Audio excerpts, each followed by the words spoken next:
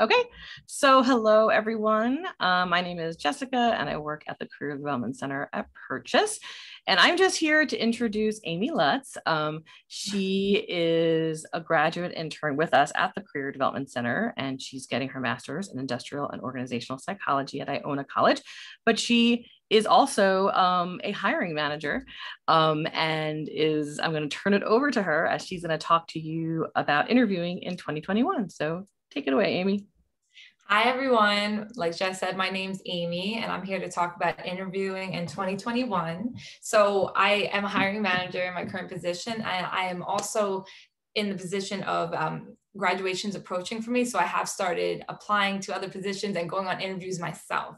So, I'm going to share with you everything I've learned from both sides and kind of, you know, how the market is right now and what they're looking for and how to position yourself to be the best candidate in these interviews. So, let's get started.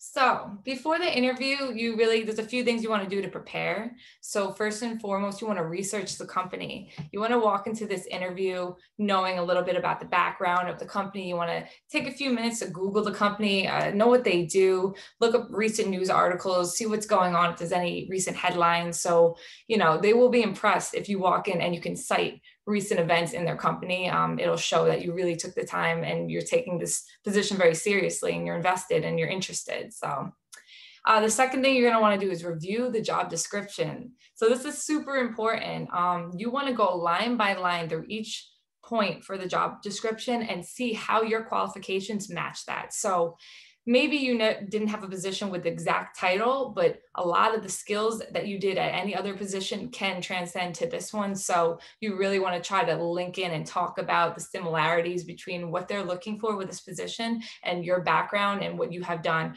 whether it's in school, it could have even been in high school, it could have been an internship, it could have been, you know, a, a part-time job working at Dunkin' Donuts. No matter what it is, I'm sure you could find ways to link it to the job description. So you really want to focus on that.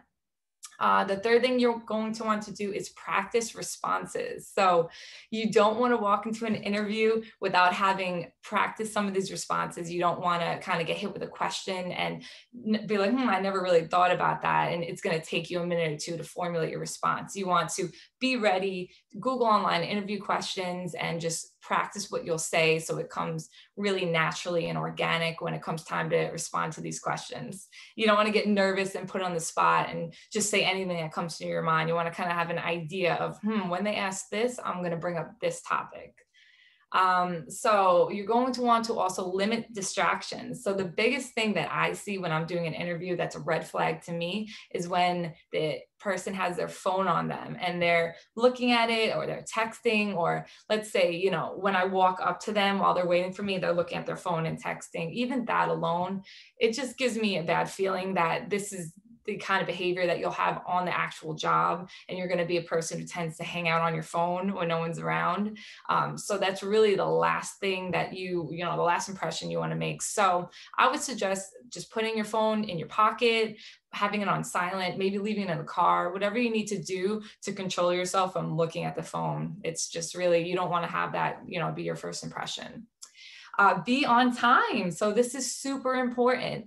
This is your first impression, this interview, and they're going to judge you on it. So if you are late to the first interview, that is a huge red flag. That's that's an issue for me. Um, I'm going to think that, you know, you don't take this seriously, that maybe you don't take lateness seriously, and this will be a chronic issue. So, especially for the interview, you always want to be on time, of course, but for the interview, especially, you want to be a little early. So, if you are doing a remote interview on the computer, you want to sign in about five minutes prior to your actual time.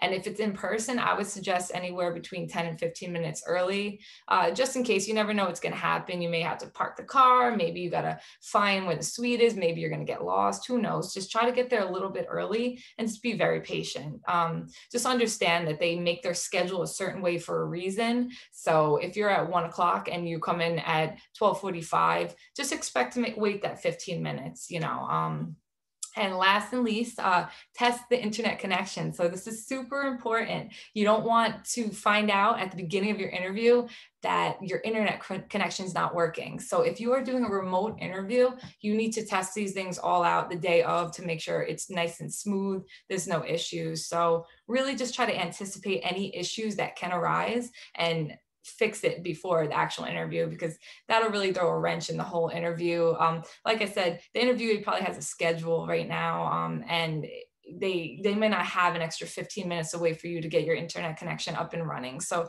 just be very mindful of that.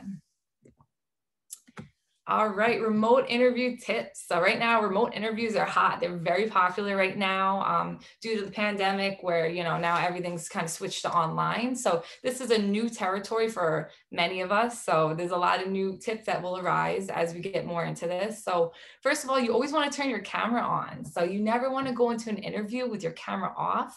You want the interviewee to see you. That you want them to you know get to know who you are, uh, see your facial expressions. If I had an interview with someone with a camera off, I would be like, okay, this is a little weird. I feel like I don't really know the person I'm interviewing, you know? Uh, uh, second of all, you want to dress the part. So you do want to dress as if you were in the current position. So whatever that may be, you want to just wear whatever is appropriate for the position that you are applying for. So I'm not saying you have to wear a suit and tie if the position doesn't call for that. But if it does call for that and you're going for uh, finance or banking or what have you, you do want to dress that part. And if it's a position that's a little more casual, you could dress a little more casual, but I would still try to, you know, business casual um, or more.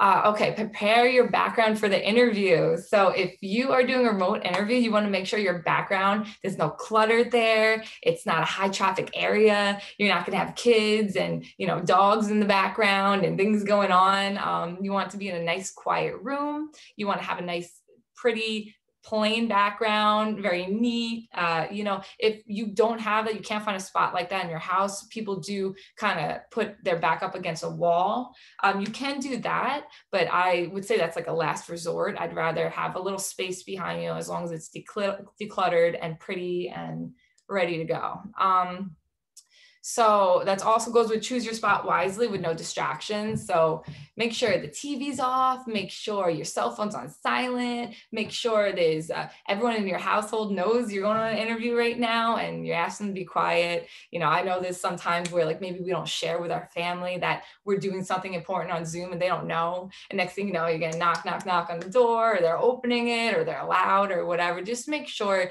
everybody's on the same page in your household and it's going to be nice and quiet for that half hour period or whatever it may be that you need to really focus on this interview and make an amazing first impression. So you do want to make eye contact. So um, yes even through the computer you want to make eye contact. It makes you come off as a more genuine person. Um, you know you want to make a connection with the person who's interviewing you. You want to show them all the great things about yourself and you definitely don't want to be looking down on the floor the whole time or looking to the side the whole time you know it, you just want to look them look the camera in the eye let's say like that. Pretend it's their actual eye but it's the camera and just look straight towards it. Um, you do want to have a hard copy of your resume ready and you also want to note a notepad and pen. So you should have these things on you physically, hard copies. Um, don't just rely on what's ever on your computer because you don't know if you can pull it up at the moment or what's going on since you're already utilizing the computer for this interview. So having a hard copy is better. Having a pen and paper to take notes. They're not going to share everything on the job posting. That's a great thing about the interview is they're going to share additional details with you that they can't just fit in that little posting. So you know, you definitely want to take notes. You definitely want to show the the person that you are taking taking notes that you are very interested in this position you're taking it very seriously you want to learn more it's, it'll be a very good sign if you're you know taking notes asking questions writing things down Okay, how to stand out. So right now, it is an extremely competitive job market. Um, a lot of people have been out the past year due to the pandemic, and they're looking to get back into the work field. And so all these positions have a lot of applicants. So you really need to stand out. You need to shine right now. You need to bring your A game to these interviews. So, a few ways that you can stand out with the competition is you want to show that you understand the company and the position. So, this is like I said earlier, you really want to invest your time in looking up the company. You want to go through every single bullet point in the job listing. You want to know like the back of your hand. You want to be ready to relate these bullet points to your background and your interest and your history and everything about you. So you don't want them to mention anything on the job listing and then your response is, oh, I don't know what that is, or you know, that you can't talk about. Even things that maybe you're not familiar with, you've never done before, look it up, find out what it is. If you don't understand what they're asking for, just look up the whole thing and then you could talk about it. They ask you if you have experience and you can say, I don't have experience exactly, but I am aware of this system. I, I do, I have watched some videos on how it works. I understand the concept and I'm sure I could pick up on it very quickly. So you make sure, you know, you can talk about these different things. Um, so you want to come to the interview with well-researched questions. So one thing for me um, at the end of the interview i always give them a chance. I'm like okay like uh, you know it's your turn. You have any questions comments concerns anything you want to ask me about the position? And the people say mm, no not really you know that's another thing i'm like huh okay. So there's no way that a person who is genuinely interested in a position that, that, they don't have any questions there should be a bunch of questions you know? Questions show that you're interested. Questions show that you're listening to what i say and everything i'm saying you're thinking of other questions. It just shows that you're engaged you're interested you're taking this seriously and i can expect you to be that same individual if i do give you the position you're going to be you know ready to go paying attention thinking outside the box, thinking about things I haven't mentioned. Um, there's always going to be things not mentioned that you should be asking about. So please never have the response of, no, I don't have any questions. Always think of a few questions and, and ask them. Um, and the last point is show that you're self-motivated. Yeah, I mean that kind of goes along with the other two points. It's just showing that you're you're not going to wait for someone to tell you what to do. You're going to do it. So that has to go with the you know it's going above and beyond. It's it's researching the company. It's knowing what they need. It's it's under it's listening to every single word this person's saying to you and thinking of additional questions. It's understanding. It's comprehending. It's thinking outside the box um, this is what we're looking for. We're looking for somebody who's not going to wait to be told what to do. They're just going to do it. They're going to take matters into their own hand. They're going to care. They're going to care about this position and this company like it's their company. You know, you got to treat it like it's your business and you got to really be invested and that's what they want to see. Okay, so formulating responses. So when you're responding to questions, there are some methods you could use to go about uh, formulating the responses. So one really cool one is the STAR technique. So it's effectively like telling a short, concise story with a beginning, middle, and end. And so it consists of STAR. So S is situation. So describe the situation or event that you were in. T is task. Explain the task that you had to complete or work on. A is action describe the specific actions you took to complete the task and R result. End with speaking to the results or the impact of your efforts. I promise you, if you use this STAR technique, you're going to kill these questions. They're, you're going to give them exactly what they're looking for and more. Um, so just remember that the result or outcome is the most important part. It should have a positive outcome that can either be a successful result or a practical lesson you learn for next time, which is a great point. You know, I like to ask questions of, you know, not all positive what did you do? But i would like to say hey what tell me about your roughest day on the job in your last position. Can you tell me what happened? Or tell me about a time you know an opportunity for you a time that you wish you did something better. So it's important that we show that we are learning from our mistakes. We're all human. None of us are per- perfect but you definitely want to be able to describe a time where you wish you did something better. Um, people like on interviews i'll be asked what is your greatest opportunity? What do you wish that you did better and, uh, you know, one of my responses is I tend to be a perfectionist, which I do. So I can get wrapped up in certain things. Certain things could take longer for me than they should. So I'm really working on kind of, you know, calming down, like slowing it down and not focusing so hard on the little details. So, you know, things, responses like that show that you are human, that you are learning from your mistakes, you know your opportunities, you know you're not perfect, and you're willing to get better because we're all evolving constantly. You have to. And just job market, you're going to be constantly evolving. So they want to see that you can change, you can, you're able to self-analyze and figure out that your areas of opportunity and work on them. So it's a really great thing to have. So for this portion, I'm going to go through three uh, common um, example questions and responses. Feel free to write in the chat um, what you think that should be included in your response to any of these questions, um, or even just you know speak up. There's only a few of us, so feel free to interrupt at any moment. So the first question is, describe a situation in which you led a team. So for this, you want to outline the situation, your role, and the task of the group overall. You want to describe any problems which arose and how they were tackled. Say what the result was and what you learned from it. So, uh, you know, this is a really good one. I, people always looking for leadership. They're looking for, you know, you to be able to work in a team. So this is your chance to shine. And this can go for anything. Like I said, it could be, uh, you know, um, a group project that you had in a class. You could talk about that. You could talk about any any position you had. They just want to know with this question that you are able to work with others. You are able to come together and you know divvy up like different parts of um, jobs so you can all come together and be better together. So you want to make sure you're not someone who just has to work alone that you can work in a team. Teamwork's super important especially these days. Um, you know it's very common to work in teams so you definitely want to show that you get along with others and you know how to you know participate together so the next question is what has been your greatest achievement? Okay, that's a big one. That's a loaded question right there. Um, this is why you have to practice beforehand because if you just get hit on the spot with this question and you have put no thought into it, I mean, I'm, I do not even know where to begin if I haven't thought about this. So, uh, you want to recite academic or obvious work. So, you can do those, those are, but you know, you don't have to necessarily go that route. Um, they won't distinguish you from the crowd. So, instead, you want to say something that will set you apart, that speaks about your aspirations and your values. So, you know, it doesn't necessarily have to be about, uh, you know, a grade or anything. You could say, you know, my greatest achievement is you know, if you're a parent, you could talk about your child. Um, you could talk about a, a club that you created, an environmental club you created in your school when there was none because you were very passionate about that. And it's something that you feel is super important. And you found, you know, great satisfaction from knowing that you're the person who led that whole idea and you inspired others to care more about the environment. You know, that's kind of what they're looking for. So, um, and then last but not least, can I ask a quick question? Yes. so would you say with the achievement, like it could be, you know, it's so it could really be that personal, like meaning like for some of greatest achievement is that there was a class like they never thought that became so hard they never thought they can pass and they like passed it and got through it. Like um like because achievement sometimes is and it's a question that's is asked a lot but sometimes it's like a loaded word.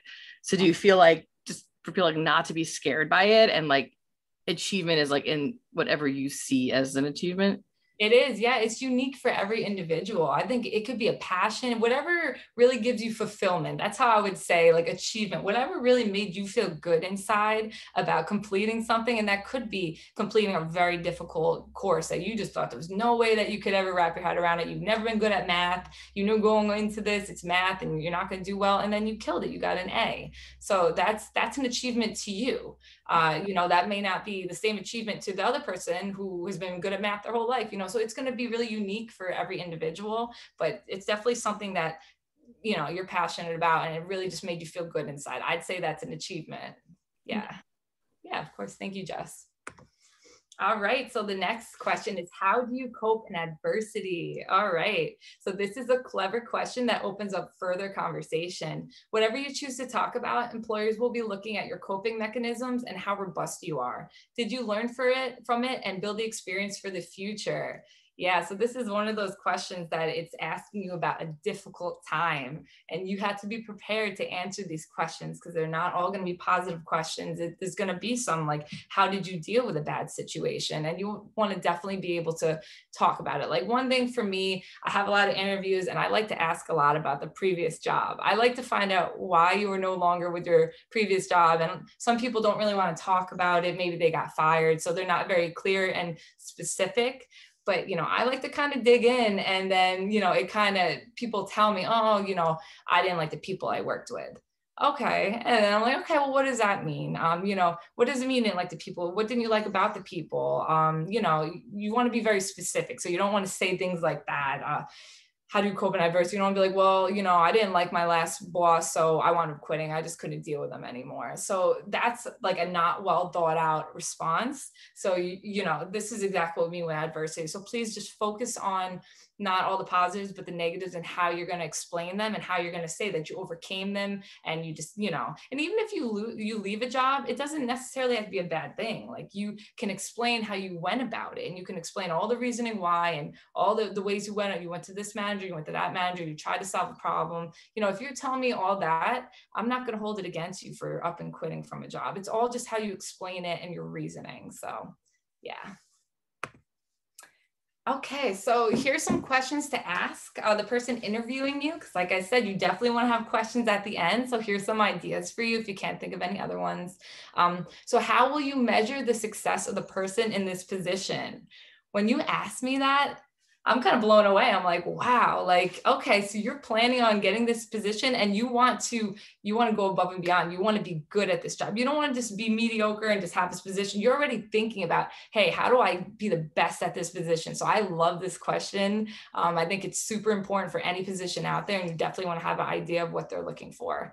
Um, so can you describe a typical day or week in the job? That's great. That that will really paint a realistic picture of what you can expect with this position. Um, I love that question. Um, things are going to be brought up that, like I said earlier, they're not mentioned in the actual listing. So this will be a great way to paint the proper picture for you of what the work environment will be, what your days will look like, and it'll give the interviewer like the idea that you really take this very seriously and you're very interested and you're thinking from all different angles. Um, the next question is what are you hoping this person will accomplish in their first six months and in their first year?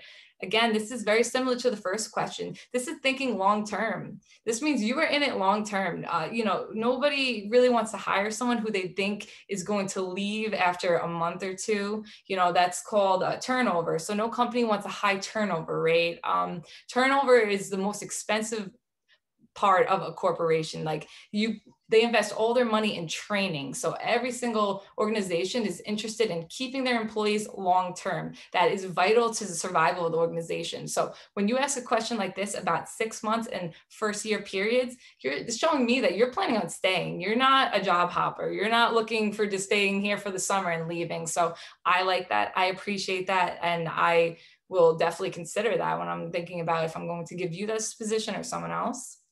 And the last question is how would you describe the culture here? What type of people tend to really thrive here and what type don't do as well? So every single organization has their own culture and their own set of values. So, um, you know, one company is going to value fun. Like there's some companies they say their most important thing is having fun. You know, which seems a little like a little funny, but um, it's true. And you know, it's it creates an amazing environment where people are all happy, and then the customers or the guests see that they're happy and in turn they're happy and they're having a good time. So you know every culture has a unique um, you know culture. So you definitely want to understand what they're looking for in their employees. What kind of person are they looking for? Are they looking for someone who's super outgoing? Are they looking for someone who gets along well with others? Are they looking for people who are always thinking of new ideas and they're very creative? Uh, whatever it is you definitely want to understand that and know um, you know and then you could decide if you're a fit for that company as well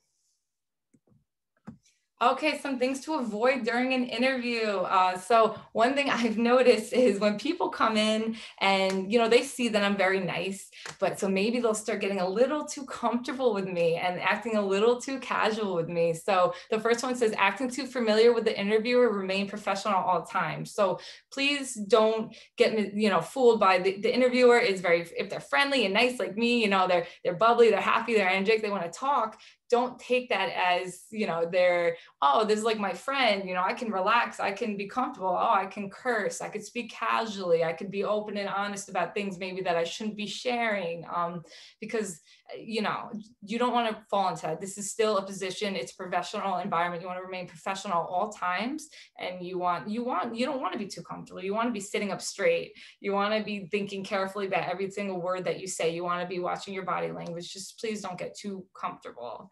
Um, so chewing gum during the interview, I mean, I think this is pretty obvious, but it still happens. Um, please make sure that you are not chewing gum during the interview. It's just, it's rude. It's you know it's just unsightly. It's not a good thing to do. It will never look good for you. There's never a case where that will be beneficial for you. So please do not do it. Um, one more thing i didn't write in here but if you were doing an in-person uh, interview please make sure that you are wearing your mask properly. Uh, there's nothing worse than when I'm doing an interview and someone's sitting there and they have their mask pulled down to talk to me, or maybe they're not covering their nose and it's just their mouth. And I have to interrupt them, say, I'm so sorry. Do you mind just covering your nose with a mask? It's just, it's kind of awkward. It's something that I don't feel like I should have to say. So please just you know just know that that's that's the standard right now in our current environment. That's the expectation. And i don't want to coach you during an interview to pull up your mask because that makes me feel like if i do hire you you're going to be sitting you know if no one's around to coach you or you're going to have your mask down? Am i going to have to micromanage you and follow you around and ask you to pull up your mask? I don't want to do that. Um, Okay, so interrupting the interview while they are talking. Yeah, you definitely don't want to do that. It's just rude. You want to allow them to speak, uh, to get out whatever they're saying. Um, I'm sure they'll give you time to respond. Um, just, just if you have a thought that pops up while they're speaking, allow them to finish. You can say, "Hey, I just to go back to the point that you were making a little earlier, just to add on to that, I want to share, you know, X, Y, and Z, whatever it may be. Just allow the interviewer to, to finish their statement. Um, so you don't want to ask about the salary and benefits at the first interview unless prompted. So this is one of those weird things that it can be considered rude. You kind of want to wait. That's like a second interview question. That's or that's when they give you a proposal. When you know when they decide they want to hire you, that's when you talk about these things. So at the first interview, that shouldn't really be brought up. Um, if you don't have like an idea about it from the listing, just just wait, just wait. Um, that will definitely come up before you're hired. There's no way you're going to get hired and you're not going to know what you're getting paid. So don't worry, it's coming. Just try to be patient. Um, oh, yes, this last one talking negatively or criticizing previous roles and employers. Oh my gosh, this one is more popular than you would think. Um, so if I if I have someone in front of me and they're they're venting to me about their last place and how they were terrible managers and terrible this and awful this, the first thing that comes in my head is okay, so if I hire you, you're going to be sitting here saying these same things about me and the rest of the management team. So, I mean, we all have worked in places where maybe management or your your boss isn't uh, you know a walk in the park but you definitely don't need to bring that up and you know that shouldn't be your number one focus on why you left a job you want to you know you could say oh, you know me and my boss didn't really see eye to eye that that's something that's okay but when you're here like oh my boss was awful. I couldn't stand one more day working with them. That's a major red flag for me, and that that scares me. Okay, because I'm always thinking uh, you're going to be saying the same thing about me and you know my team. So I don't know if I want to sign up for this. All right, so we have reached the end. Thank you so much for joining me. Uh, now I'm going to open up the floor. If you guys have any questions about anything, please feel free to ask. If you want any topics at all, we got some time here, so you could write in the chat or you could take off your your you could put on your mic, whatever you want to do. Amy, while we're waiting for some questions, um, what what how do you want an interviewee to follow up with you? Okay, that's great. So I think for me, I would like a phone call. I just feel like phone calls are like the like the fastest. I know it, it's a preference. It depends who it is. Some organizations like emails. If you have a direct email for that specific person who interviewed you, you could definitely shoot them an email. But I'd say if you had like a generic email where it's just like the whole entire, I would in that case I'd rather do a phone call and just say, hey, you know, this is Amy. I'm just following up. I you know I met with you last week. Thank you so much for meeting with me. I was just wondering wondering where you're at with the interview process. Are you still, you know, have you have you just made a decision yet, or you know, what however you want to say that's how i would follow up. But make it very casual and don't call once. Like don't keep calling. Like i have people who keep calling and calling and calling. I'm like okay like it's a little bit much. You're coming off a little strong. You're freaking me out. So yeah. And do so you want like an immediate time. Oh i'm sorry. sorry. I just wanted to know what's an appropriate time frame before you making that call after the interview. I would give them at least a few days. Like it depends on the day of the week. So be mindful of weekends. So Saturdays and Sundays don't count. So if I have a Thursday interview, um, you know, I would probably give them until Wednesday. Whereas if I had a Monday interview, I'd probably call on Friday, but just always know that like weekends don't count. They're probably not in the office. I wouldn't, they're not doing anything in the hiring process. So if you have an interview Friday, you call Monday, like there really not much has changed in that time period. So just give them a little more time. Yeah. And, and um, Julia, we'll get, I'll get to your question in a sec. Um, do you want like an, a quick little thank you email afterwards as well? I mean, you could if you really, really are interested in this position and you want to stand out. I think it's very, it's a nice gesture. You know, it, it's, I mean, it can't be bad. So absolutely, a thank you little email would be nice. Just a simple thank you, not asking for anything, not inquiring about anything, just simply saying thank you so much for taking the time today. I really enjoyed our talk, and I hope to hear from you again. Something short and sweet like that is really nice. Thank you. And I'm going to read a question from the chat. Um, okay.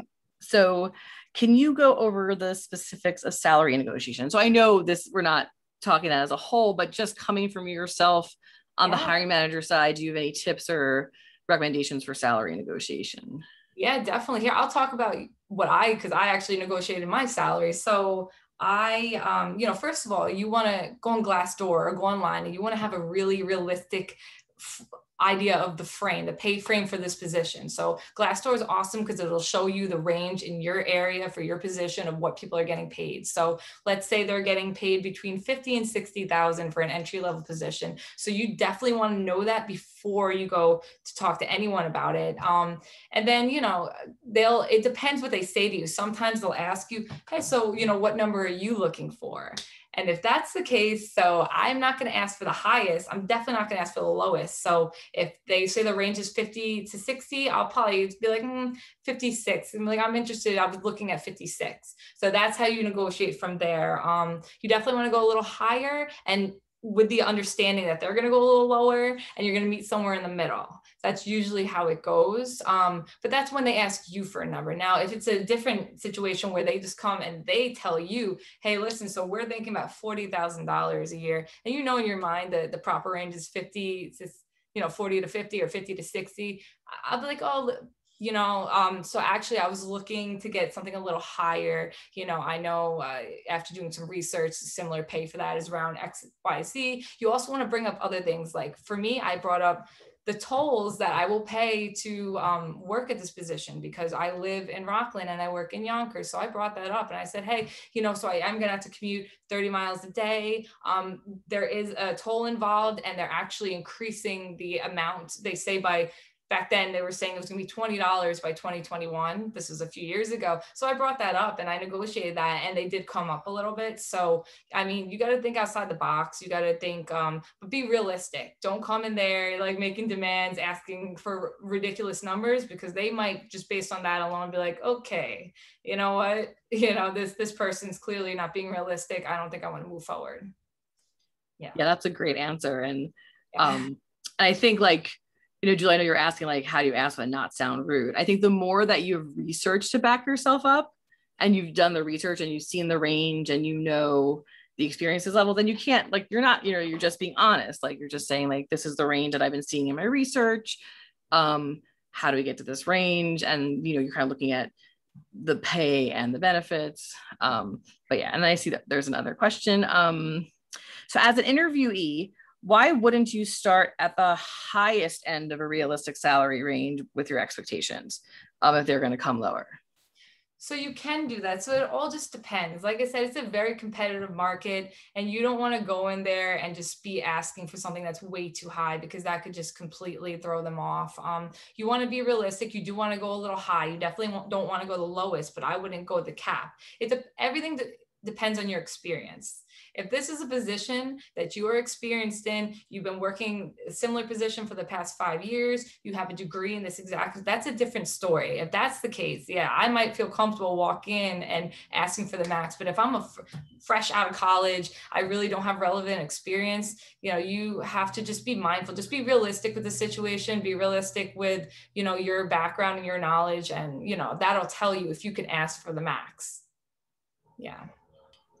Yeah, we um, would have um, AAUW has come and done a salary negotiation workshop, um, and they talk about like kind of like assessing your value as well. So understanding like exactly like your experience, um, what value you have to bring, where you are, you know, um, and yeah, they also would recommend kind of going that higher end, but not the highest of the range. Two, it's also very important because I think at Glassdoor too, salary.com, like putting the location as to where you are going to work. Um, there's other questions in the chat, but Darcel, did you have a question? I did. I just wanted to know in your experience, do you find that most people don't attempt to negotiate their salaries?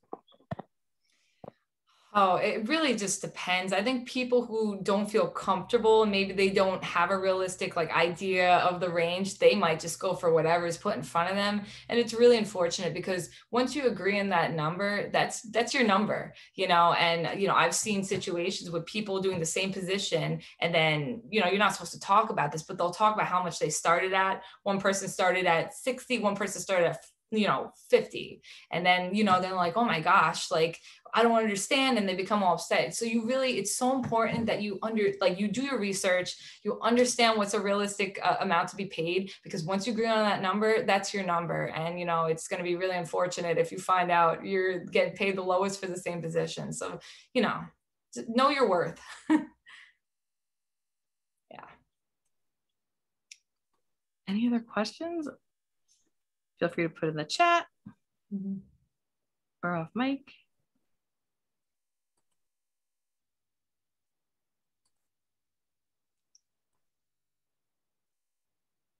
Yeah, guys, and my last point is just you really want to be yourself overall. You want to come off as a very genuine person. We all bring something to the table here, just in our personalities alone. So just try not to become so nervous, you know, about everything that you kind of just like get all quiet and like awkward. Like you want to feel comfortable, you want to be yourself, you want to show your personality, and that alone could, you know, get you hired, just being yourself. And there are people willing to take chances on people with no experience just because they love their personality and they love their go-getter they could tell and they could just tell listen i'm going to give this person a chance and even though they have no they have no background in this and that's some of the most successful people. So it's not all about your background it's not all about your resume it's about you and being comfortable and being genuine and just showing what you bring to the table showing them the kind of you know things that you could bring to the company.